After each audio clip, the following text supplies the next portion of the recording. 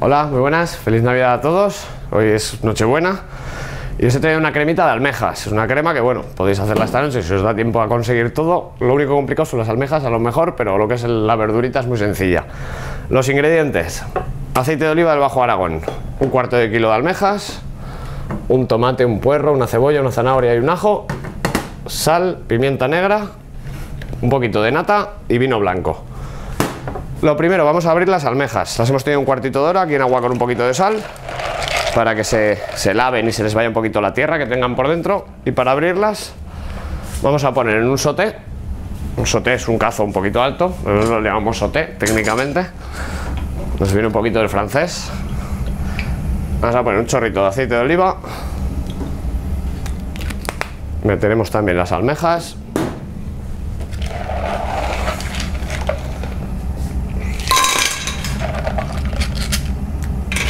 Bien escurridas del agua. Pondremos el vino blanco y podemos hacerlo o con fumet o con agua, un poquitín también. ¿eh? Yo en este caso coincide que tengo aquí un poco de caldo de pescado recién hecho, pues lo pondremos con el caldo de pescado. Esto le vamos a poner a tope y lo vamos a tapar. Así veremos cómo ellas mismas se nos van abriendo. Lo vamos a tapar, no lo voy a dejar muy fuerte del todo para que nos dé tiempo a venir a abrirlas. A medida que se vayan abriendo las iremos quitando, las iremos nosotros separando para incorporarlas al final otra vez.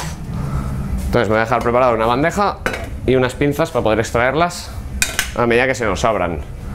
Lo siguiente que haremos es sofreír la verdura. En este caso tenemos la cebolla, el puerro, el ajo y la zanahoria. El tomate lo incorporaremos al final. Simplemente la vamos a, a picar para que se nos salte un poquito más rápido y se nos sofría. ahí se me ha escapado. Poco a poco ya se va empezando a ir algo de ruido por la olla de la almeja, eso es que la empezaremos poco a poco a que se vayan abriendo. Así que nos vamos a acercar por allí. Vamos dejando las verduras un poquito troceadas. Y venimos a ver qué tal van las amigas. Aún no empiezan, las dejamos un poquito más, que sigan poco a poco abriendo. Y vamos con la zanahoria. La zanahoria, ¿lo veis? La podéis trocear un poquito y a raíz de aquí la picamos un poquito más. Así. Y por supuesto el ajo, siempre para picarlo es mucho más fácil chafarlo. Hacemos unas pequeñas tiras y de estas pequeñas tiras picamos un poquito. Como va a ser una crema, tampoco nos interesa picarlo finamente del todo, puesto que lo vamos a triturar, entonces es un trabajo innecesario. Seguimos viendo las almejas, alguna quiere empezar a abrir, así que poquito a poco las vamos a ir pescando. Así conseguiremos que cuando las vayamos a comer estén en un punto mucho más agradable, más jugoso y que no se nos resequen. Siempre si vais moviendo un poquito, siempre ayuda también a que abran, a que abran un poquito antes. A veces necesitan un pequeño empujón. ¿Veis? Una vez ya empiezan, poco a poco van, van todas ya una tras otra. Fijaros, simplemente las vamos separando, dejando el caldo. Ya nos quedan poquitas. Seguimos un poquito más, que aún nos quedan cuatro por ahí.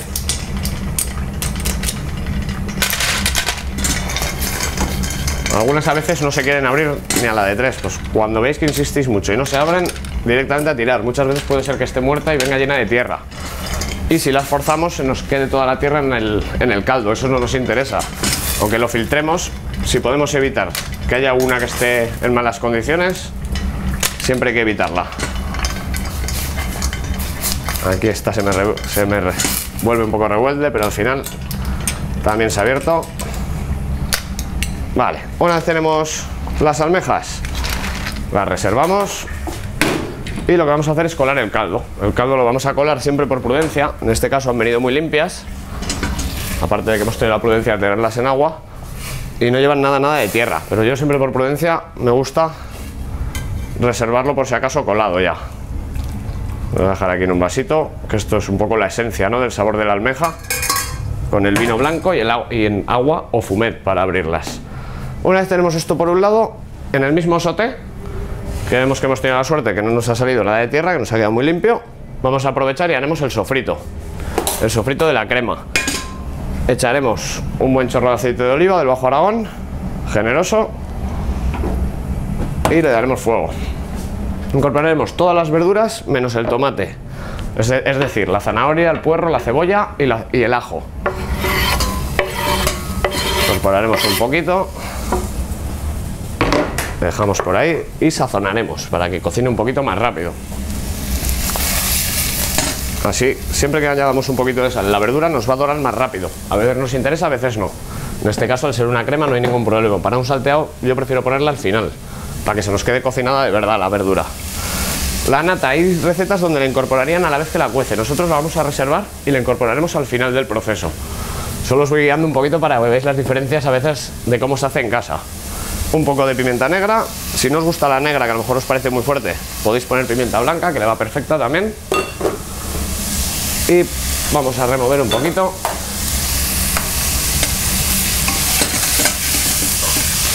Simplemente dejaremos que empiece a coger un poquito de color. Cuando empiece a coger color ya le bajamos el fuego.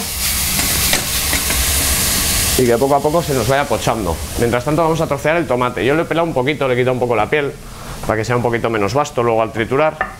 Pero lo podéis escaldar o no, tampoco se suele quedar en el chino.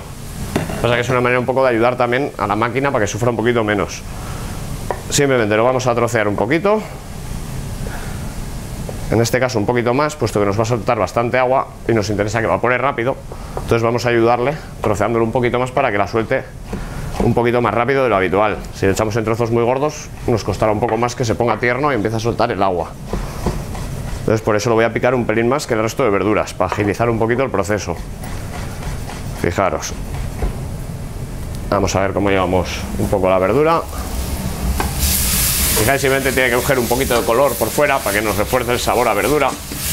Y lo que es ponerse tierna o cocinarse lo vamos a hacer ya cociendo, cociendo en el caldo, ¿no?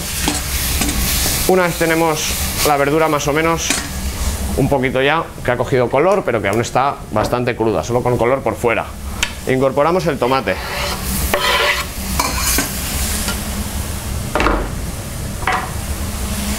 Lo sofreímos medio minutito más. Vamos a incorporar una pizca más de sal otra vez para que suelte un poco más de agua el tomate. Me la he dejado por aquí.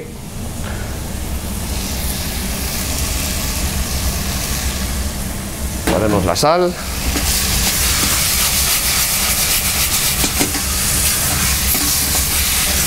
Dejaremos que el tomate poche un poquito para que no sepa ácido. Incluso hay quien le pone una pizca de azúcar nosotros en este caso al poner el vino blanco, que nos lo va a endulzar, aunque de un toque ácido, nos va un poquito a camuflar el tomate, entonces no nos hace falta. Sofreímos medio minutito, un minuto el tomate. Incorporamos el caldo de la almeja, el que hemos estado cociendo. La almeja, la que hemos abierto. Lo revolvemos y me gusta incorporar un poquito más de fumet. Se suele quedar un poquito justo y se queda un poco como un puré. Entonces yo por la cantidad me gusta añadirle un cazo extra. En este caso, como tengo fumet, aprovecho fumet de caldo de pescado para que no le suene. Lo añadimos. Una vez ya recuperado el hervor, que lo tiene ya, lo vamos a dejar a fuego suave, tapado y una media hora aproximadamente. Entonces, mientras va pasando esa media hora, se nos va cociendo la verdurita para poder triturarla. Nada, me aclaro un poquito esto y la terminamos, que veréis que está enseguida. Como veis, pasado media hora, tengo cociendo la verdura y he preparado un platito hondo y una jarrita para acompañar un poco con la crema. Eh, lo primero, triturar el sofrito. Os recuerdo un poco lo que llevaba, las verduras, cebolla, zanahoria, puerro, ajo, el caldo de abrir las almejas, que las hemos abierto con un poquito de fumet, un poco de vino blanco y un poco más de fumet que hemos añadido para que no se nos quede demasiado espesa, ¿vale? Sal y pimienta. Lo que vamos a hacer es introducir en la Thermomix o en el aparato que tengamos de triturar, cada uno en su casa. Y lo trituraremos lo más fino fino que podamos. Vamos a encender la máquina, que estaba apagada, digo así no puede girar. Y poco a poco vamos subiendo. Siempre que sea muy caliente, recomiendo subir poco a poco para no salpicarse. A veces si le damos muy de golpe salpica y te puedes quemar un poquito.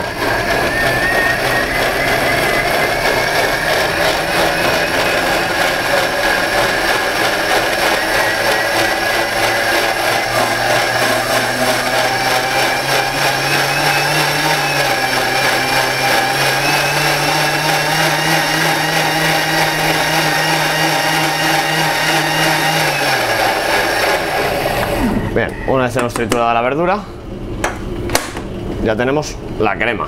Para dejarla un poquito más fina, lo que vamos a hacer es pasarla por un chino. En este caso ya he preparado otro cazo. La pasaremos por un chino y nos ayudará a que nos quede más, más fina. Si os fijáis queda una crema pero no queda muy espesa. Al no llevar patata o arroz, que puede ser un espesante más fuerte, nos queda una cremita a veces incluso un pelín ligera, que puede recordar a una sopa. Pero bueno, es que os gusta espesita, le podéis echar una patatita un poquito de arroz y ahí tenéis otro truco, incluso un poco de pan tostado y triturarlo. Una vez tenemos esto, le incorporaremos la nata. No la voy a apurar toda para poder decorar un poquito, pero no la vamos a llevar a ebullición, la vamos a temperar, pero que no hierva. No nos interesa que hierva, porque así no nos dejará sabores un poco oscuros, ¿no? Lo que sería la nata, la nata tiene unos sabores a veces ocres cuando la hierves. Lo único que vamos a hacer es mezclarla para que nos quede más untuosa la crema y darle un poquito de calor pues para que nos quede bien caliente, puesto que calentita está más rica, más ahora con el frío que está haciendo estos días. Mientras tanto, para emplatar, sencillito, vamos a poner, en este caso habría almejas pues para unas cuatro cremas, nosotros vamos a ser un poco, como solo vamos a hacer una, vamos a poner alguna de más, ya que estamos, y vamos a ser un poco egoístas, y el resto pues ya que se apañen, ¿no? Como en este caso no, solo hay que hacer una, una vez tenemos esto, un poquito de perejil, que siempre nos, nos da síntoma un poco de frescor con los pescados. Yo le dejo ya incorporado un chorrito de aceite que luego nos subirá cuando echemos la crema. Y con la nata que nos ha quedado un poquito en el bol, aprovechamos a echar un poquito también. Una vez tenemos ya esto, solamente nos falta terminar la crema del todo. Si os fijáis, no ha llegado a hervir, simplemente la hemos atemperado para que esté bien calentita. Y la serviremos, yo la soy como es un restaurante, lo solemos servir un poquito para que vean el producto y luego servimos la crema. En este caso, la serviríamos poniendo un poquito al comensal con un lito, el camarero, que aquí se nota un poco la parte de dentro y la de fuera, y el resto se la dejaríamos al lado por si quiere acompañar un poquito más, así nos queda más bonito y ver lo que se va a comer. Nosotros en este caso la vamos a rematar un poquito más y la dejamos ya lista para comer. Ahí os dejamos lo que sería esta crema de almejas, que bueno, espero que os solucione uno de los platos navideños. Y si no, pues para Reyes, tenemos unos días que nos puede salvar de un aprieto. Nos vemos la semana que viene, digo el año que viene. Hasta luego.